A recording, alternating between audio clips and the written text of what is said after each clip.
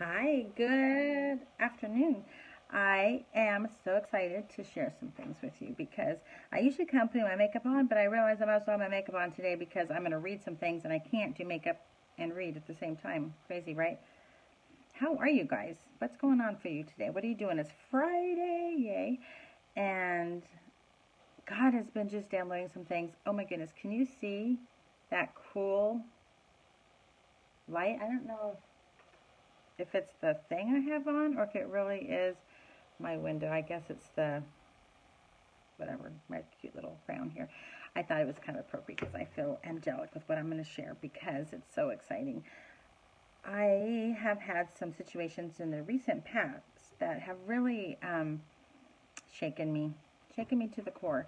And I realized I needed to go back to the basics and just to re-anchor in the Lord, which, you know, I, that's always the case, right? We always need to be anchored in Him. But it was the type of thing that um, had me in an attitude for a while. So, hi, Kim. Good morning, afternoon, I guess. And so I just was like, God, what? I thought I had grown through this. And he just like peeled back this huge layer of raw vulnerability that I kind of had thought I had victory over. And as the situation happened, I realized I just kind of melted and was not quite as strong as I thought I would be. And my thinking was just really rattled. So I thought, okay, what's up with this? God, really? Or what's, what, you know, help? What, what's the deal here? So I um, have been, you know, just doing some of my basic things that I've used to spend more time on, like my, my identity, reading Ephesians 1 through 3, which is so powerful.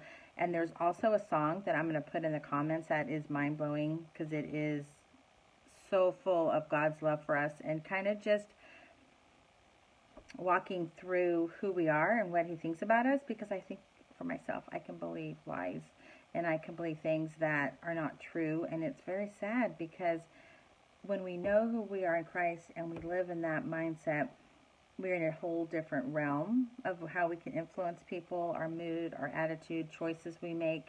So I'm going to do some reading, and I'm sorry because, you know, it's not as an interactive, but it's so powerful. I, I feel like if I don't read it word for word, I'm not going to be able to say it as clearly. And I'm reading from my Bible, the Passion Translation, which is super duper cool.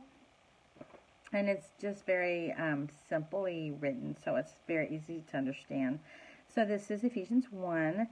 And I'm going to start um, just at 1 because my name is Paul, and I was chosen by God to be an apostle of Jesus the Messiah. I'm writing this letter to all the devoted believers who have been made holy by being one with Jesus, the Anointed One. May God Himself, the Heavenly Father of our Lord Jesus Christ, release grace, release grace over you and impart total well being into your life. So, right there is like an amazing thought alone. You are being imparted well being into your lives. Wow, don't we want that? Like, as we go about life and we have different things come up, it can be so easy to be so sidetracked. And I'm, I'm just, this is my deal. And you, you may be um, stronger than that, and it doesn't. This doesn't pertain to you like it does to me in such a huge way and like a huge revelation. Which again, this is not new, but God just took me deeper as I He peeled that layer. This is kind of the balm He's using. So we are being imparted into total well-being into our lives. Amen. I take that, receive that. Then, verse 3 every spiritual blessing in the heavenly realms has been lavished upon you and myself as a love gift from our wonderful Heavenly Father, the Father of our Lord Jesus Christ. All because He sees us wrapped into Christ. This is why we celebrate Him with our hearts. Because what did, I guess my initial thing that God, like the root of this, like craziness for me was realizing I overlook what Christ, what the, um, benefits of Christ going to the cross for me are so easily. It's just kind of like, oh yeah, he died. It was awful. It's like an amazing sacrifice. But at the same time, I realize I really kind of don't get that. Like I play that down and wow, right? Like if some like I don't we can't even really okay, you can see on Facebook sometimes where people will say, oh, I was so fun. Someone paid forward my Starbucks or they paid forward my Chick-fil-A. I got free lunch. How sweet is that? that's awesome, right? Like that's a fun thing, and we get on Facebook and we tell everybody because it's like so unsuspected and not planned.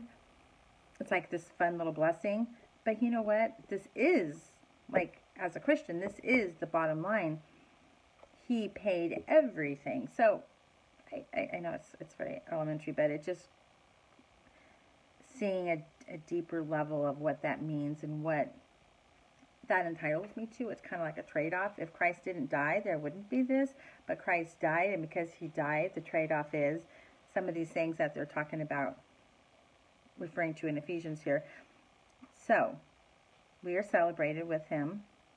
Who doesn't want to be celebrated? That's like that's like a promise and a position.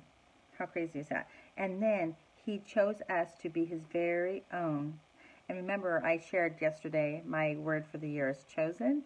So here's the sweet word again that we are chosen. I was chosen in him as a daughter. I was chosen in him that he would choose to die.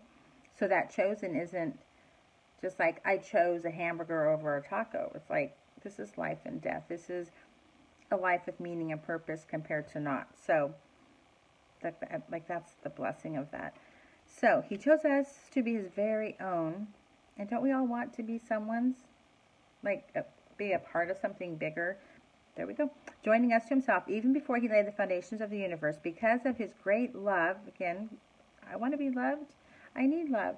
But my love needs are met more securely and thoroughly when it's being directed to receiving Christ's love for me and the Father's love for me. So, um, where was that?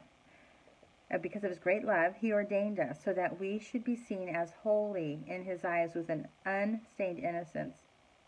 Wow, I can't be holy on my own, but I'm holy because of what Christ is. And that is a real hard, I tend towards a performanceness, and that is a really hard thing to grasp. Like, I can't earn this. This is bestowed upon me. For it was always in his perfect plan to adopt us. Always. It's not like, oops, I need to do this. Nope, this was the plan. Adopt us as his delightful children. We're delightful. Wow, right? Do you hear that anywhere? Do people come up to you and say, oh, you're delightful? Some might, but we are delightful. That's our position in Christ. Through our union with Jesus, the anointed one, so that this is a tremendous love, sorry, so that his tremendous love that cascades over us would glorify his grace. Can you imagine like cascading waters? Just, oh, love and grace, love and grace. It's just beautiful. Uh, for the same love he has for the beloved one. So God's love for us is the same as his son. Like that's crazy. That's such a privilege and honor that we have that. But it's still, it's a gift. It's not that we can earn it. Jesus, his bone Jesus, he has for us.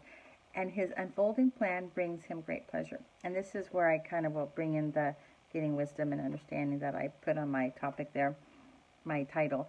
Since we are now joined to Christ, boom, joined means together, we have been given the treasures of redemption by his blood, the total cancellation of our sins, all because of the cascading, the water coming cascading waters, that's just like a visual for me, riches of his grace. His super abundant grace is already powerfully working in us, releasing within us all forms of wisdom and practical understanding and through the revelation of the Anointed One, he unveiled his secret desires to us, the hidden mystery of his long range plan, which he was delighted to implement from the very beginning of time. And because of God's unfailing purpose, this detailed plan will reign supreme through every period of time until the fulfillment of all the ages finally reaches its climax when God makes all things new in the heaven and earth through Christ. But oh my goodness, I want more wisdom understanding, and right here, we have access to it. I don't always ask. I don't always seek his wisdom. But when I do, it's an amazing fullness. It's not lacking. And even over here in verse 2, I underline, and in his fullness, he fills us. Fullness, like I want that. I have access to that. So this kind of just my aha moment. Again, nothing new, but just trying to walk daily doing what he has for us is so rewarding, but Satan a lot of times tries to lay little snares that we don't believe it and lies we believed in the past and maybe some traumas, different things that we've had go on. Those things can get, these truths can get sniffed out so that we don't live uh, Galatians says that it was for freedom that he died. Therefore, keep standing firm in this freedom that he gave us. Like, let's make sure that we are living in the freedom that God has for us because why wait till we get to heaven and be like, oh, I, I, I missed out. I didn't understand. And of course, then we'll have full understanding. Of course, it'll be in front of our eyes, but I hear and see so many people with such wounded hearts, and I've been one of them, and still, I mean, believe me, not arrived, but it's the type of thing that we are looking to the world to bring a satisfaction that only God can have. And when we continue to come under Him and to see these things and to allow healing, allow lies to fall off, layers for Him to pull back layers, I'm amazed at just the differences in the last two and a half years since we've kind of shed some major legalism and different things, and God has brought me into even a more closer communication with Him. That can sound weird, but truth. Um, so, I have my private group that I am kind of trying to outline ways that God has used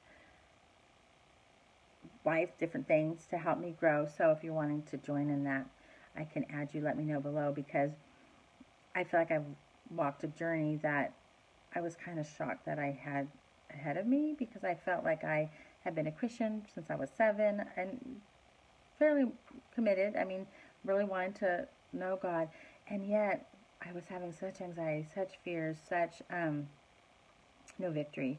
Always feeling like I'm reading and praying, but it's not working. Why is it not working? It promises to be working. But I kind of had to realign some thinking, let go of some things, invite Jesus into some areas and Father God into some areas that I didn't realize were not quite um,